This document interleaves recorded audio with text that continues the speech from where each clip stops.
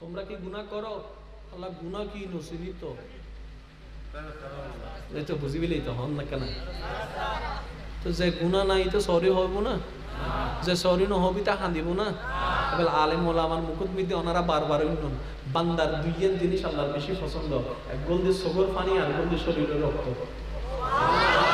শরীরের রক্ত গিয়ে জিহাদের ময়দানত শহীদ হইয়ারে আর সবর পানি হলে গুণাগার অকলন।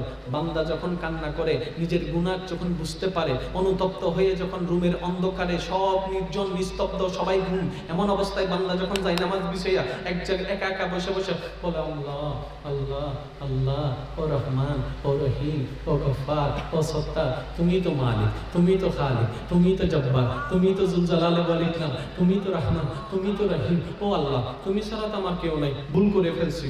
তোমার দরবার আমি আসামি হয়েছি। তুমি মাফ করে দিলে তো হয়। তুমি মাফ করে দিলেই তো হয়। তুমি মাফ করে দিলে তো হয়। আল্লাহ, এই সামান্য আগমন আমার সহ্য হয় না। জাহান্নামের আগুন আমি কীভাবে সহ্য করব? সামান্য কাটা ফুটছি যে, সিল্লান দিয়ে আমি ফারা এক জায়গায় করে ফেলছি। সে জায়গায় ফেরা করব তো আমি খাইতে পারব না। ও আল্লাহ, তুমি মাফ করে দিলে আমাকে জাহান্নামে নেওয়ার ক্ষমতা কারও নাই। জাহান্নামে নেওয়ার ক্ষমতা কারও নাই। জাহান্নামে নেওয়ার ক্ষমতা কারও নাই।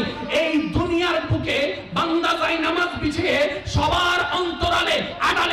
বসে চোখের পানি ছেড়ে ছেড়ে যখন কান্না করে তওবা করতে থাকে, ওইখান থেকে রহমান তাকায় থাকে, ওইখান থেকে রহমান তাকায় থাকে, ওইখান থেকে রহমান তাকায় থাকে। এবার আল্লাহ পাক বলে, ও আল্লাহ, বান্দারা একটু খেয়াল করবেন, এখান থেকে আল্লাহ পাক রব্বুল আলামিন ফেরেশতাদেরকে ডেকে বলে, ফেরেশতা, দেখ দেখ, আমার পাগলা বান্দাটা কত মধুর মধুর আওয়াজ দিয়ে আমাকে ডাকতেছে, দেখ। শুন শুন। বান্দা বলতেছে, ও রহমান ও রহমান মাফ করে দাও মাফ করে দাও না আল্লাহ বলেছে, দেখ কেমন করে ডাকতেছে। এই ফেরেস্তা আমার জিকির তো বোধ করছ। আমার বান্দার মতো এরকম আদর করে ডাকছো নি কোনোদিন? এই ফেরেস্তা আমল তো অনেক করছ। আমার বান্দার মতো এরকম চোখের পানি ফেলে ফেলে আমাকে কখনো খুশি করাইতে চাইছো? আর তো গুণা নয় হ্যাঁ গিললে।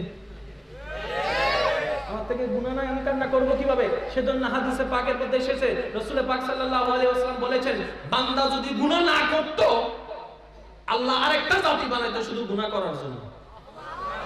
সেজন্য বলি, ভাই, আপনার জীবনে পাপ থাকবে, সমস্যা নাই। আপনার জীবনে ভুল থাকবে, সমস্যা নাই। আপনার দরবারে গুনাহ থাকবে, সমস্যা নাই। আপনার জীবন জুড়ে পাপ থাকবে, কোনো সমস্যা নাই। সমস্যা শুধু একটা জায়গায়, আল্লাহর কাছে ফিরে না যাওয়া।